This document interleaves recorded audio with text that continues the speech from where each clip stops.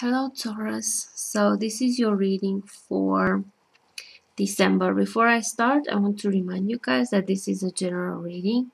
So if you resonate with this reading, then I'm glad I could help. And if you don't resonate, then it's okay. It means that this wasn't for you right now. Maybe in my next video, I'll have a message for you. Um, and if you're interested in a private reading, you can always contact me. I left the information below. My email address is basically 25 euros for 30 minutes. We can do it on Skype or WhatsApp or whatever you're comfortable.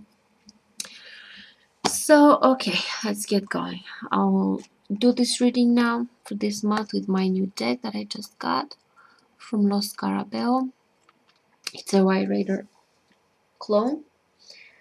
And I love these cards. And I also like the the back, the color, not so much the print, but the color is beautiful. Okay, so Taurus for December. May whoever needs to hear a message the most, I hope that the cards bring you some meaningful insight.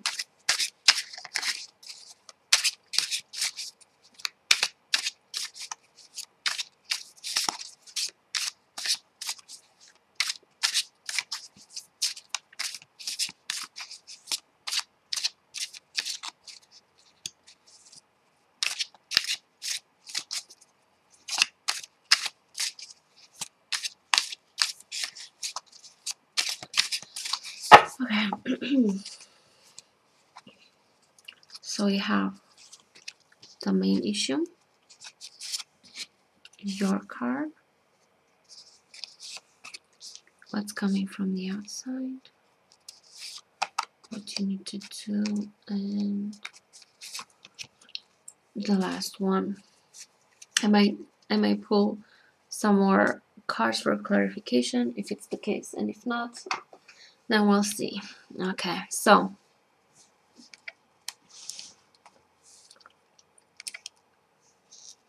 all right, the main issue for Taurus, hmm, the star.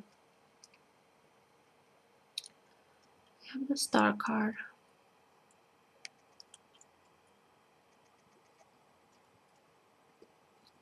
The birdie in the tree, and with little flames instead of leaves. Lotus and rose. It's beautiful. Card the star. Okay. Your card, we have here the Emperor.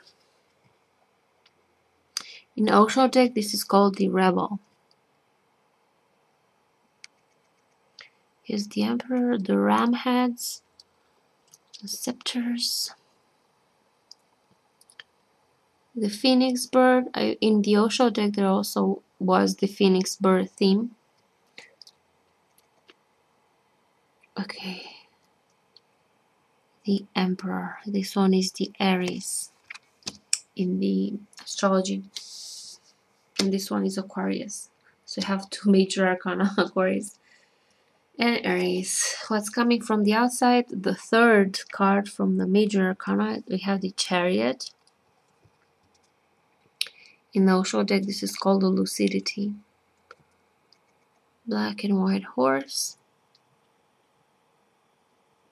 Stars. It's okay. Um, hmm. What you need to we have the psycho king as I call him the queen of swords. Cut off. I think this is the the queen's head. He cut off. The king and queen they're hating each other. So here's the mad king chopping off heads but I think in the um, Dark Grimoire Tarot, they're also the king and queen. They're murderers. They chop off heads. Okay, I like this. Alright, and the last card we have the lovers. Oh my god. Yeah, okay. The lovers card.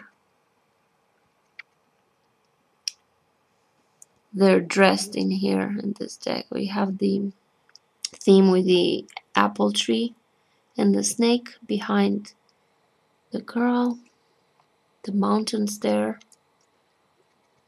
in the distance and the sky and the angel and the sun. Les amants okay so i think this is about the relationship for you guys. Ah um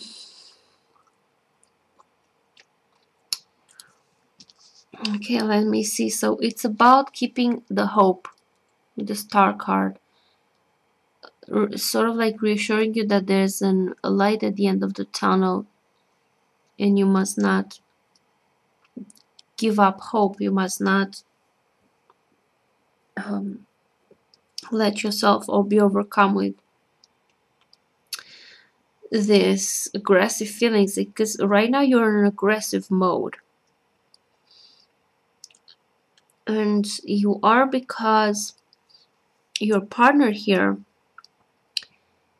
they don't want this situation anymore. They're like moving on from a situation. They just come to realization and they're taking action.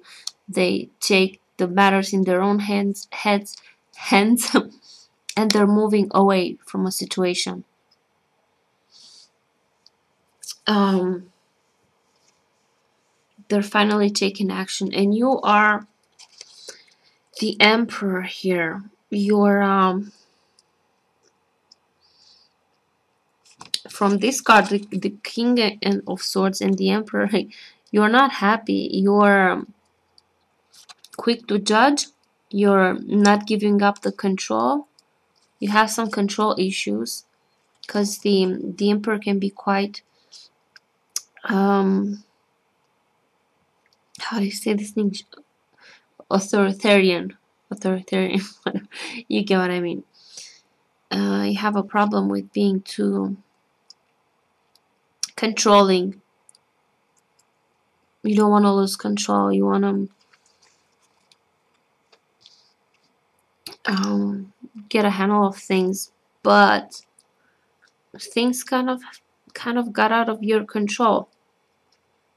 And the cards are sort of telling you to be patient because the star is also a, a, a card that tells you to be patient because you will see the light at the end of the tunnel. It is not yet there but it, it's a hope it's a promise.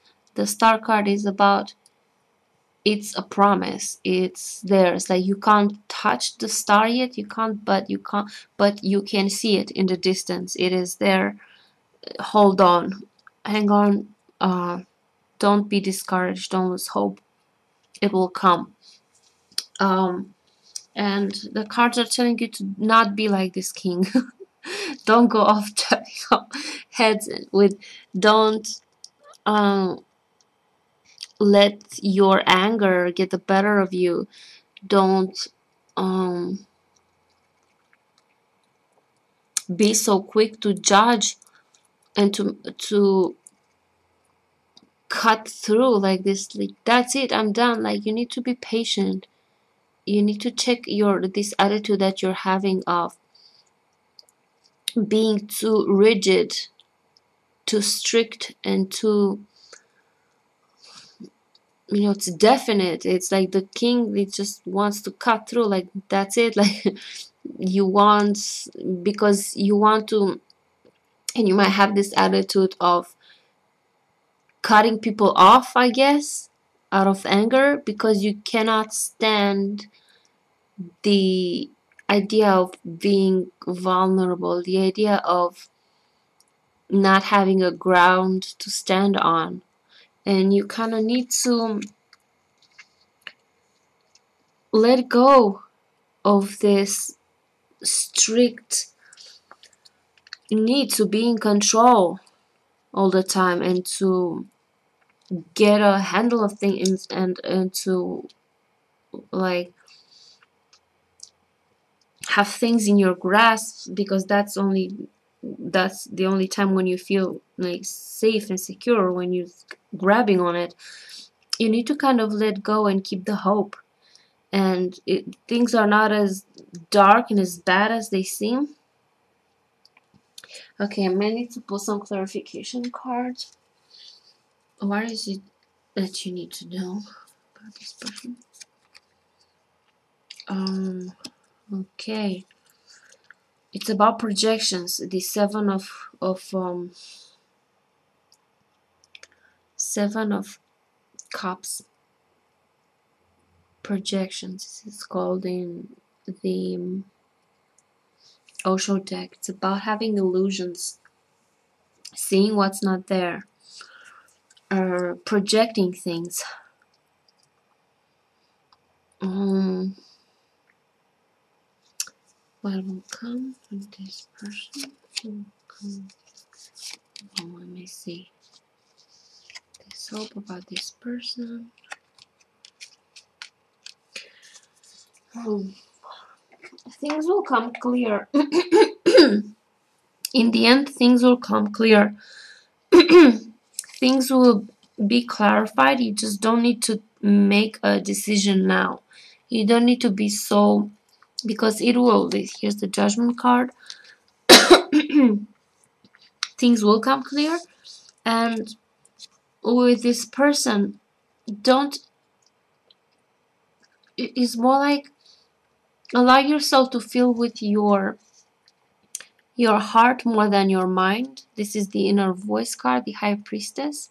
You kind of need to listen to your intuition more, not your judgmental, strict mind when it comes to this person, the situation.